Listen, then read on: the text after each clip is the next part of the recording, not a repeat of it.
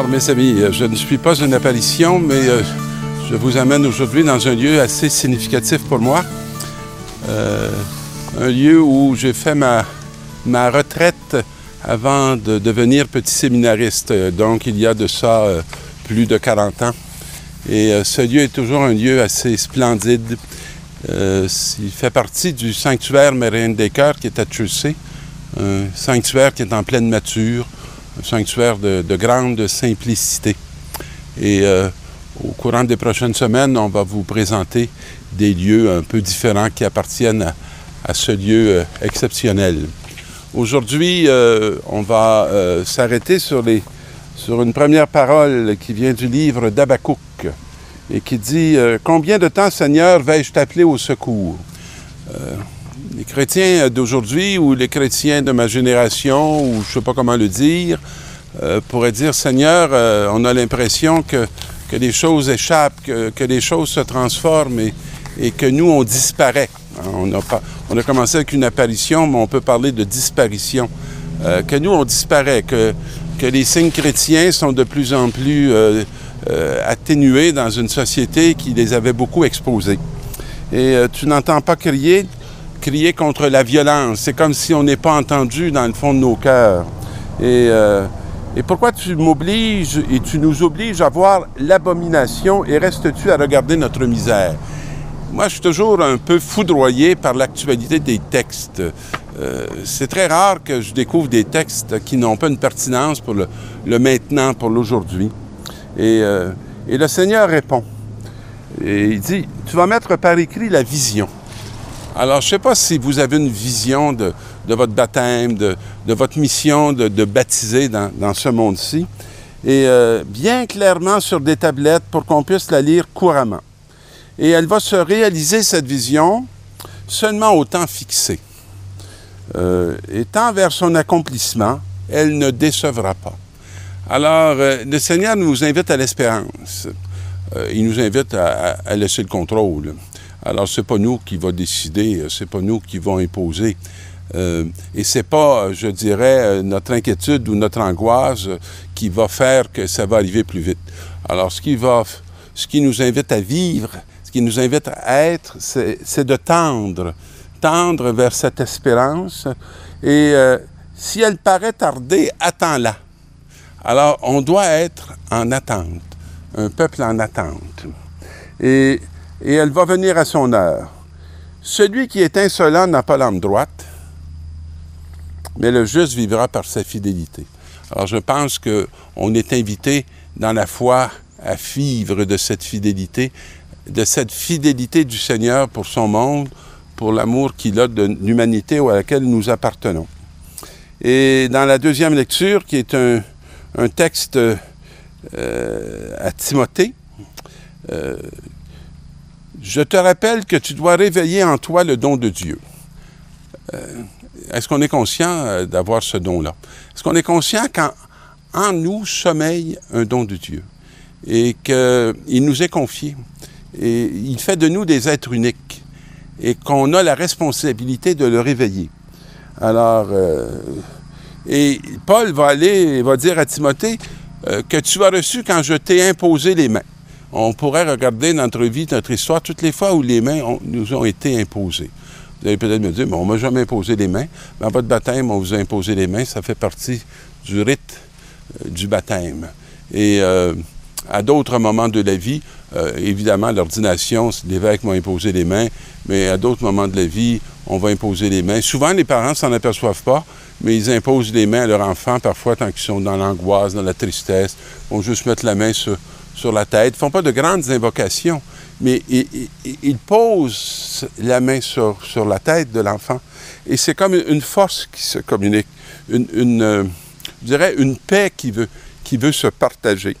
Alors, euh, Paul dit à Timothée, euh, ce don-là, tu l'as reçu quand, quand je t'ai imposé les mains, quand je t'ai reconnu, quand je t'ai fait confiance, malgré ta jeunesse, pour que tu puisses être dans cette communauté un ancien, un témoin de la foi originelle. Et euh, c'est pas un esprit de peur que tu as reçu, mais un esprit de force.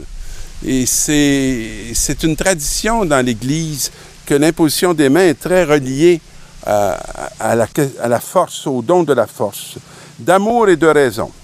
Et n'aie pas peur de rendre témoignage. Alors ça, on peut, on peut le laisser résonner beaucoup à, nos oreilles. N'aie pas peur de rendre témoignage. Euh, moi, sans vouloir provoquer, quand je suis dans les restaurants, je suis très à l'aise de faire ma prière avant les repas. Euh, parce que pour moi, c'est une façon et de rendre témoignage et de rendre grâce à Dieu pour les dons qui sont sur la table, que je ne mérite pas, mais, mais qui sont là, qui sont là par la grâce de Dieu, parce que il nous comble. Et euh, n'aie pas honte de moi qui suis en prison à cause de lui. On peut avoir toutes sortes de peurs, on peut mépriser euh, des gens qui vont être rejetés socialement parce qu'ils ont affirmé des réalités de leur foi, mais n'aie pas honte de moi. Et prends ta part de souffrance pour l'annonce de l'Évangile. Euh, c'est toute une invitation et, euh, et c'est tout un appel à la maturité, à la maturité dans la foi. Et règle ta doctrine sur l'enseignement solide que tu as reçu de moi, dans la foi et dans l'amour que nous avons en Jésus-Christ. Et j'aime bien cette phrase, tu es le dépositaire de l'Évangile. Je suis le dépositaire de l'Évangile, vous êtes le dépositaire de l'Évangile.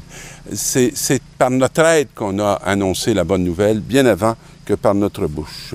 Garde cette bonne nouvelle dans toute sa pureté et que l'Esprit Saint habite en nous tous. Et dans l'Évangile, augmente en nous la foi. C'est la demande des apôtres au Seigneur. Et il, leur dit, si vous en aviez gros comme une graine de moutarde, vous diriez au grand arbre que voici, déracine-toi et va te planter dans la mer. C'est une belle image, mes amis. Euh, c'est l'image de... La mer, c'est le symbole du mal dans, les, dans la Bible. Alors, euh, va te planter dans la mer. On essaie souvent d'éviter le mal. On essaie souvent de, s'en éloigner, de, s'en protéger. Si tu avais juste un peu de foi, tu irais te planter là, pas pour souffrir, pour vaincre le mal. Et euh, il y a du mal dans nos familles, il y a du mal dans notre Église, il y a du mal dans notre monde. Est-ce qu'on peut aller se planter là comme un grand arbre pour faire des racines, pour annoncer la victoire? La victoire du Christ sur ce mal. Et euh, lequel d'entre vous va dire à son serviteur, quand il vient de labourer, garder les bêtes, va lui dire à son retour d'un champ, viens vite à table, ne lui dira-t-il pas plutôt, prépare-moi à dîner, mets-toi en tenue de service euh, pour que me servir le temps que je mange et je boive. Ensuite, tu pourras manger et boire à ton tour. Moi, je pense qu'un des grands défis de notre vie, c'est de devenir un pain de vie.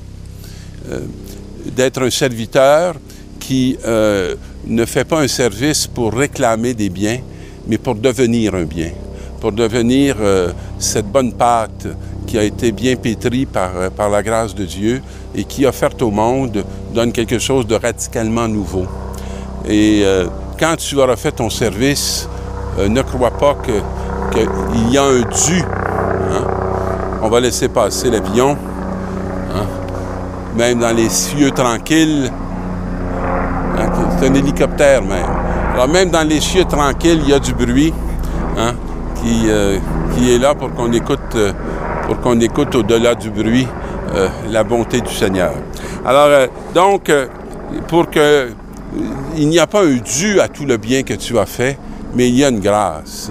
C'est que toi aussi, tu pourras être un tour, à ton tour servi, mais servi par le Christ qui est la bonne nouvelle et qui est le pain vivant premier, qui nous dit qu'il a vaincu la mort et que dans la gratuité de cet amour, nous avons accès à ce mystère et aussi à cette mission qui nous est partagée parce que nous sommes des élus et qu'il nous fait confiance. Nous sommes des serviteurs quelconques, nous avons fait que notre devoir et nous te rendons grâce de nous avoir reconnus pour nous aussi nous associer à ce beau projet et à cet amour que tu as pour l'humanité, que tu nous confies comme à ton Fils. Bonne semaine, mes amis, et à bientôt.